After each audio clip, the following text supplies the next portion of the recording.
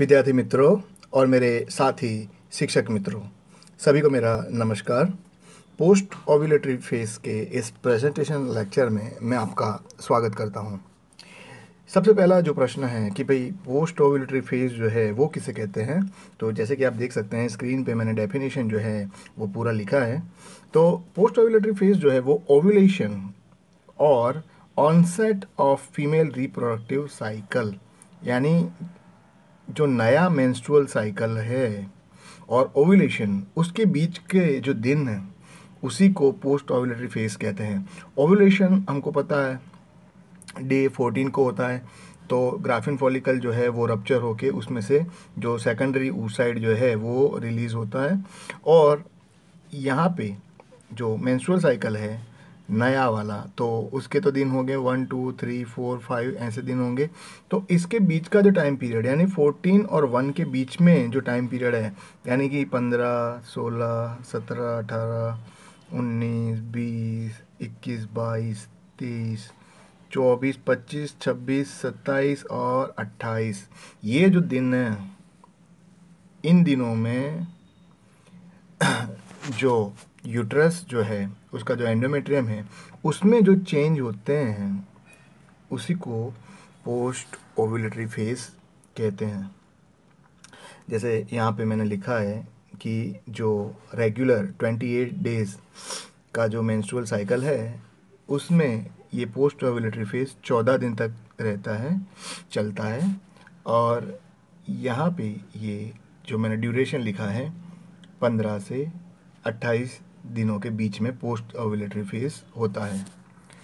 तो ये जो चार्ट है मेंस्ट्रुअल साइकिल का, ये अगर हम देखेंगे तो आराम से आपको पता चल जाएगा। जैसे कि यहाँ पे 14 जो है 14 डे को ओविलेशन हो रहा है। यहाँ पे नए मेंस्ट्रुअल साइकिल स्टार्ट हो रहा है और शुरुआत के जो पाँच दिन है, उसको हम मेंस्ट्रुअल फ़ेज़ या तो मैंसिस कहते हैं। तो बीच वाले ये जो दिन हैं पंद्रह से लेके अट्ठाईस। इसी को पोस्ट ओवुलेटरी फ़ेज़ कहते हैं। अभी पोस्ट ओवुलेटरी फ़ेज़ जब हम पढ़ते हैं तो हमारे दिमाग में ऐसा होता है हम ये सोचते हैं कि जो यूट्रस का जो एंडोमेट्रियम है उसी में सारे जो इवेंट है वो हो रहे हैं। आ, लेकिन ऐसा नहीं होता जो ओवरीज जो होती हैं है ना? तो ओवरीज के अंदर भी कुछ जो इवेंट हैं वो साइमल्टेनियसली चालू रहती हैं। जब एंडोमेट्रियम में जब पोस्ट ओवुलेटरी फ़ेज़ चल रहा है तो ओवरी के अंदर क्या होता है है ना? तो ओवरी के अंदर इस समय ल्यूटियल फ़ेज़ चल रहा होता है। अभी ल्यूटियल फ़ेज़ जो है, इसके ऊपर मैंने एक अलग से ही लेक्चर डिलीवर किया है। ये आपने शायद देखा होगा, और अगर आपने नहीं देखा है तो मैं आपको थोड़ा थोड़ा बता देता हूँ यहाँ पे। जैसे कि जो एंटीरियर पिट्यूटरी जो है एंटीरियर पिट्यूटरी में से हार्मोन सिक्रेट होता है एल एच एल एच को बोलते हैं ल्यूटिनाइजिंग हार्मोन ये जो ल्यूटिनाइजिंग हार्मोन है, वो किसके ऊपर असर कर रहा है? तो ये असर कर रहा है ग्राफियन फॉलिकल पे। और कितने टाइम पे असर करेगा? तो तकरीबन नौ घंटे के लिए ये जो एल एच है, वो ग्राफियन फॉलिकल के ऊपर काम करता है। तो ये जो नौ घंटे का जो ड्यूरेशन है, उसी को क्या कहते हैं? जब एलएच की मात्रा बहुत ज़्यादा होती है तो इसको बोलते हैं एल एच सर्ज और ये एल एच सर्ज जो है, उसकी वजह से ये जो ग्राफिन फॉलिकल है, वो फटती है और उसमें से ये जो सेकेंडरी ऊसाइड जो है, वो रिलीज़ होता है। सेकेंडरी ऊसाइड रिलीज़ हो गया, उसके बाद ये जो ग्राफिन फॉलिकल है, उसका क्या होता है? तो ग्राफिन फॉलिकल जो है, एक जात का जो ट्रॉमा है वो ट्रॉमा महसूस करती है। और वो ट्रॉमा की वजह से इसके अंदर जो ब्लड वेसल्स होती हैं कैपिलरीज होती हैं, वो फट जाती है। तो ब्लड जो है, वो ब्लड निकलता है और वो ब्लड जो है, बहुत ही जल्दी क्लॉट हो जाता है। और जो थीका सेल और ग्रेनुलोजा सेल वो मिल के इतना जो पोर्शन है, वो डार्क रेड कलर का हो जाता है। तो ये जो डार्क रेड कलर का जो पोर्शन है, इसको कहते हैं कॉर्पस हैमर हैगी कम और ये कॉपस हैमर हैगी कम जो है, वो जो ओवरी जो है, वो इसको एब्जॉर्ब कर लेती है। अच्छा बाकी के ये जो थीका सेल और ग्रैन्युलोसा सेल हैं, इन्हीं का कन्वर्ज़न एक एंडोक्राइन स्ट्रक्चर में हो जाता है, जो पीले रंग का होता है, और इसे हम कॉपस ल्यूटियम कहते हैं। हमको पता है कि कॉपस ल्यूटियम जो है वो चार हार्मोन सीक्रेट करते हैं प्रोजेस्ट्रॉन ईस्ट्रोजन रिलैक्सिन और इनिबिन तो ये सारी जो घटनाएँ हैं वो पोस्ट ओवुलेटरी फ़ेज़ के दौरान ओवरी के अंदर होते हैं, ठीक है? इसी को कहते हैं इवेंट्स इन ओवरी चलो, अब जो मुद्दे की जो बात है है ना, जो आज का जो पॉइंट है, जो टॉपिक है, उस पर आते हैं। तो पोस्ट ओवलेटरी फ़ेज़ जो है, उसमें यूटरस में क्या होता है? तो इवेंट्स इन यूटरस जैसे कि ये आप देख रहे हैं, मैंने यहाँ पे बताया ही है ये यूटरस ठीक है? यहाँ पे भी ये एंडोमेट्रियम ये एंडोमेट्रियम है ना? तीन जगह पे। तो इनमें क्या चेंज होते हैं, उसकी बात करते हैं। तो पहला जो पॉइंट है, यहाँ पे जो मैंने लिखा है, ठीक है? This fourteen day phase is the most constant time wise है ना? यानी कि जो पंद्रह से अट्ठाईस दिन का जो टाइम पीरियड है, वो कांस्टेंट होता है। कोई भी जो मैंस्ट्रुअल साइकिल हो उसमें। अभी ये कांस्टेंट का मतलब समझना ज़रूरी है। देखिए तो फ्लक्चुएशन किसमें होगा? आप आप देखिए कि हर बार तो महिलाओं के शरीर में 28 दिन का मेंस्ट्रुअल मेंस्ट्रुअल साइकिल होता नहीं है। हर बार नहीं होता है।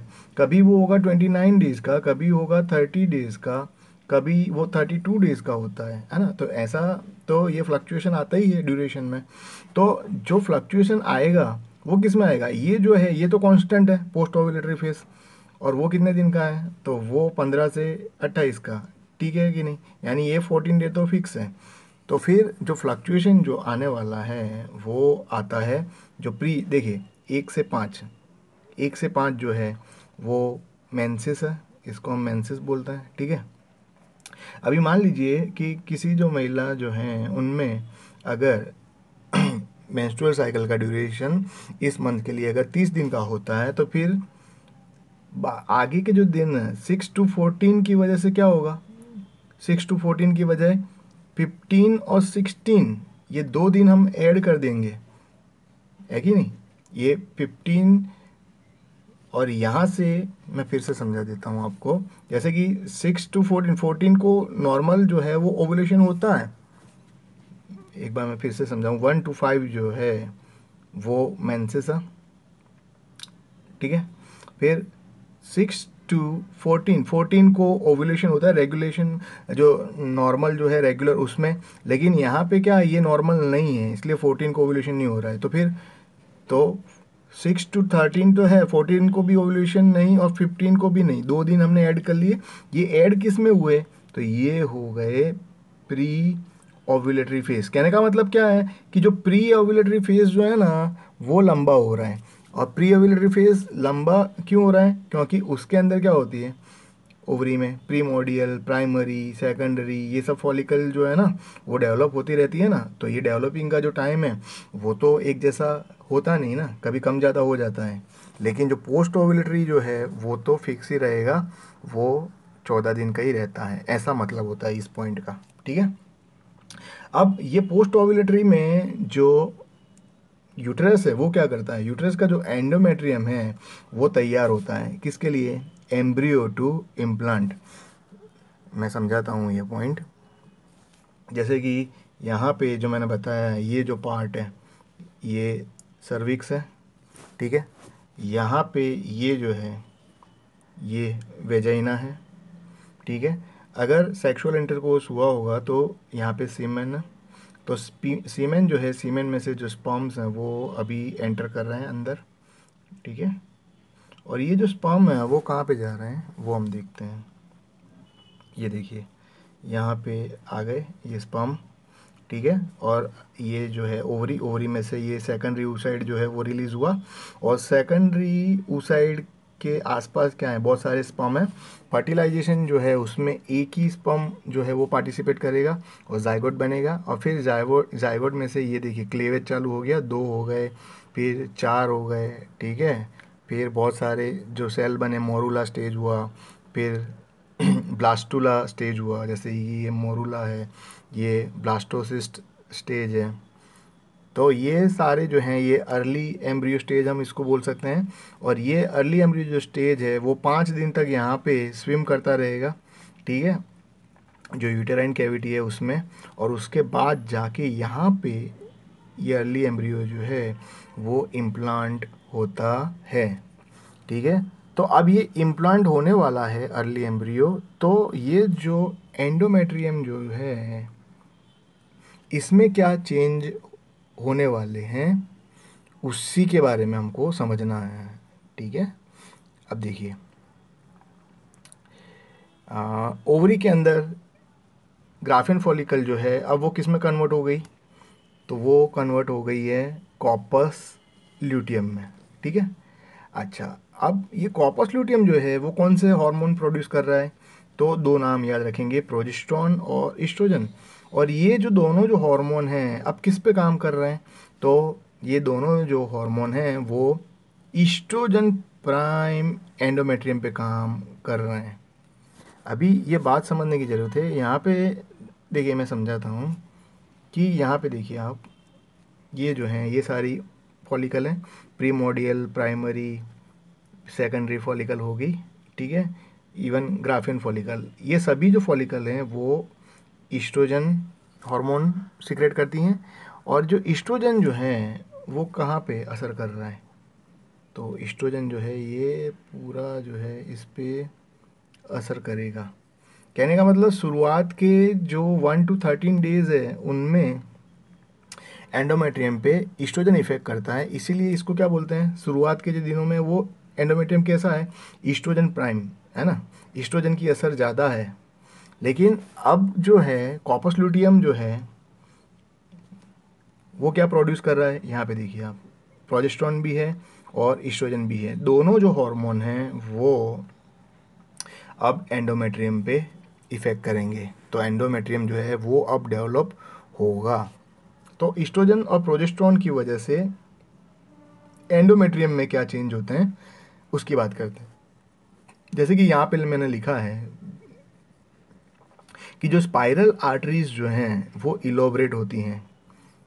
प्रोजेस्ट्रॉन जो है ईस्ट्रोजन जो है, उनकी वजह से क्या हो रहा है, ये स्पाइरल आर्टरी ये जो रेड कलर में है ना, वो इलोबरेट होना, यानी उनकी लंबाई बढ़ना, उनका डायमीटर बढ़ना और यहाँ पे हमको पता है कि यहाँ पे जो है, ये एपिथेलियल सेल होता है तो जो एपिथेलियल सेल है, वहाँ तक ये जो आर्टरीज है, वो पहुँच जाती हैं, इतनी लंबी हो जाती है, ठीक है? और functional layer to a secretory mucosa ये दोनों जो हार्मोन है प्रोजेस्ट्रॉन और इस्ट्रोजन इसकी वजह से, ये देखिए। ये दिख रहा है, नाम आपको। यहाँ पे लिखा नीचे वाला बजल लेयर ऊपर वाला फंक्शनल लेयर फंक्शनल लेयर का दूसरा नाम भी अब हमको पता है स्टेटम फंक्शनलिस बोलते हैं। तो यहाँ पे देखिए आप, ये जो है, इतना, ये जो है, इतना जो है, ये क्या हुआ? ये फंक्शनल लेयर हुआ। और ये फंक्शनल लेयर जो है, अब वो किसके तौर पे काम करता है? वो सीक्रेटरी म्यूकोज़ा के तौर पे काम करता है। अब ये क्या बात हुई? सीक्रेटरी म्यूकोज़ा क्या बात है? है ना? वो भी मैं आपको समझाता हूँ। अब देखिए सीक्रेटरी म्यूकोज़ा का मतलब क्या होता है? यहाँ पे जो मैं आपको दिखा रहा हूँ, ये पहले तो जो एंडोमेट्रियम है उसकी बात कर लेते हैं। तो एंडोमेट्रियम में नीचे वाला जो होता है, उसको बजालिस लेयर बोलते हैं, ठीक है? और फिर यहाँ पे ऊपर जो है तो ऊपर वाला जो है, उसको क्या बोलते हैं? उसको फंक्शनल लेयर बोलते हैं, ठीक है? तो यहाँ पे क्या हो रहा है?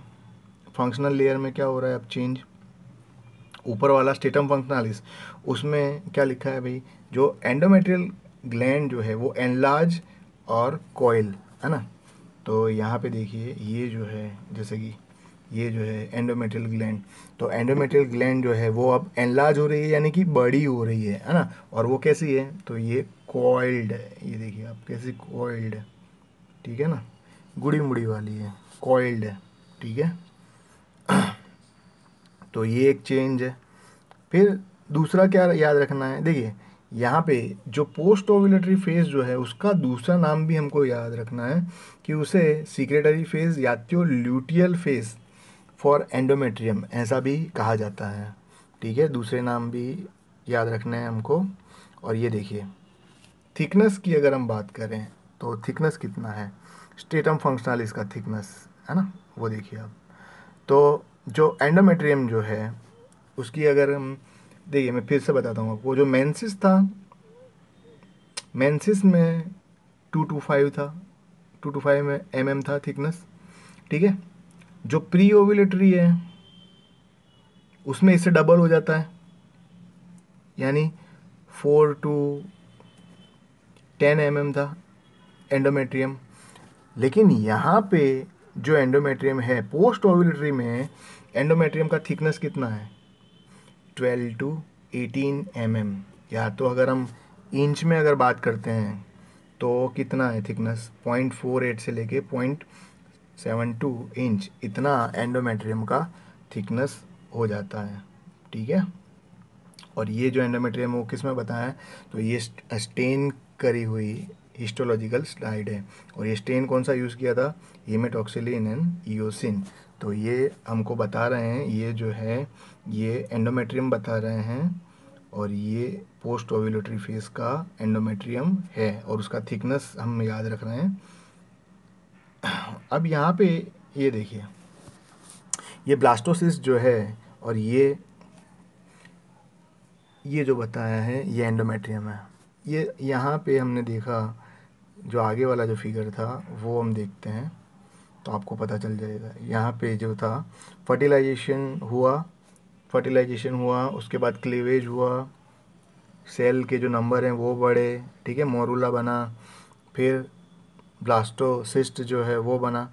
तो अब ये ब्लास्टोसिस्ट जो है है ना, फिर पाँच दिन तो वो तैरेगा, है ना, यूट्राइन कैविटी में। और उसके बाद फिर जाके उसका ये इम्प्लांट अब हो रहा है। अर्ली एम्ब्रियो जो है, इसका इम्प्लांट, वो किससे जाके चिपक रहा है? तो वो एंडोमेट्रियम जो है, उससे जाके वो चिपक रहा है। ठीक है ना? तो यहाँ पे जो था, ये देखिए आप, है ना, ये ब्लास्टोसिस्ट बताया है। और ये जो है, ये endometrium of uterus endometrium of uterus से ब्लास्टोसिस्ट जाके अब इम्प्लांट होने की शुरुआत है। उसको अभी खाली टच ही कर रहा है वो, है ना? खाली उसने जाके छुआ है उसको, ठीक है? तो अब ये क्रॉस सेक्शन में बताया है, वही की वही चीज़ है, लेकिन क्रॉस सेक्शन में आपको दिखाया है। तो ये ब्लास्टोसिस्ट हो गया और ये जो है, ये एंडोमेट्रियल ग्लैंड है, या तो इसे हम यूटेराइन ग्लैंड भी बोलते हैं। तो अब ये जो यूटेराइन जो ग्लैंड है, उसका काम क्या होता है, उसकी हम बात करेंगे। ये एक दूसरा फिगर है, जिससे आपको पता चल जाएगा कि भाई जो इम्प्लांटेशन है, वो कैसे हो रहा है है ना? अच्छा अब देखिए, समझाता हूँ मैं आपको। यहाँ पे तो ये जो एम्ब्रियो है अर्ली एम्ब्रियो इसका इम्प्लांट हो गया। और आप देखेंगे कि जो सेल जो हैं, वो भी डिवाइड कर रहे हैं। तो अब ये जो, जब एम्ब्रियो इम्प्लांट हुआ एंडोमेट्रियम में तो इसके दौरान, इसमें तो क्या, जो सेल के जो नंबर हैं सेल नंबर तो क्या बढ़ेंगे? सेल डिवीज़न होगा। और ये जो सारे जो नए नए सेल हो रहे हैं, उनको क्या चाहिए? न्यूट्रिशन तो चाहिए ना? तो ये न्यूट्रिशन कैसे मिलेगा? तो यहाँ पे ये जो ग्लैंड है एंडोमेट्रियल ग्लैंड ये एंडोमेट्रियल ग्लैंड जो है, वो क्या कर रही है? सिक्रेशन प्रोड्यूस कर रही है। तो ये एंडोमेट्रियल ग्लैंड का जो सिक्रेशन है, वो कहाँ पे पहुँचता है? तो जो जो एम्ब्रियो जो है, जो इम्प्लांट हुआ है, उसके सेल जो हैं, उसको ये सिक्रेशन पहुँचता है। अच्छा ये जो सिक्रेशन है, उसके अंदर क्या होता है? एंडोमेट्रियल ग्लैंड के सिक्रेशन में क्या होता है? तो इनमें होता है ग्लाइकोजन ग्लाइकोप्रोटीन स्टीरोइड होते हैं आयन होते हैं, फिर फैट सोल्यूबल विटामिन ये सारे सिक्रेशन के अंदर होते हैं। ये सारे जो न्यूट्रिटिव सब्सटेंस हैं, ये सभी एंडोमेट्रियल ग्लैंड के सिक्रेशन में होते हैं और ये क्या करते हैं? ये जो एम्ब्रियो है, उसके जो सेल्स हैं, उसको नरिश करते हैं, है ना? उसको पोषण देने का काम करते हैं। ठीक है? तो ये सारी बातें। अच्छा अब यहाँ पे दूसरा एक बात मैं आपको बताता हूँ। ये देखिए आप। जो प्री ओवुलेटरी फेस होता है ना, ये जो है, ये मैंने वेजाइना बताया है, जो योनि मार्ग है, वो बताया है। अब समझिए बात प्री ओवुलेटरी फेस तो उसके दौरान अगर इंटरकोर्स हुआ है तो यहाँ पे सीमेन है, ठीक है? ये जो है, इतना जो पोर्शन है, ये पोर्शन है सर्विक्स ठीक है? और ये जो पार्ट है, ये जो अभी मैं आपको बता रहा हूँ, ये जो है, वो है सर्वाइकल ये है सर्वाइकल कैनाल ठीक है? तो ये सर्वाइकल जो कैनाल और ये जो सर्विक्स ठीक है? तो सर्विक्स जो है, ये जो है इतना, ठीक है?